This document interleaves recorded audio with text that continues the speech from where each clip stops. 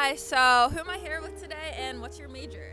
I'm Frances Mack and I'm a scientific and environmental journalism major. I'm going to grad school at Northwestern, Nice. getting a Master of Science in Journalism. Hi, I'm Abby. Um, I'm a mechanical engineering and business major in the IBE program, and I'm starting a job in engineering consulting in Alexandria, Virginia. I'm Lauren Holgado. I'm majoring in chemical engineering and chemistry. And after graduation, I'm working for Siemens and doing process control.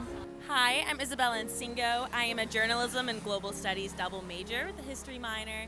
And after graduation, I'm heading to Knoxville, Tennessee, where I'll be working with WBIR, a TV news station there. Oh, that's fun. My name's Tristan Moore. Um, my major is finance, and I'm going to be working at a company called Perpay in Philadelphia. I'm Lainey Fenster. I am a population health major and I have plans to attend Columbia University to pursue my Master's of Public Health degree. My name is Sam Barney Gibbs. I major in uh, journalism and political science, and I'll be going to the United Nations after graduation. My name is Chris Hummer. I'm a mechanical engineer, uh, 2024, and I'm going to be a plant manager.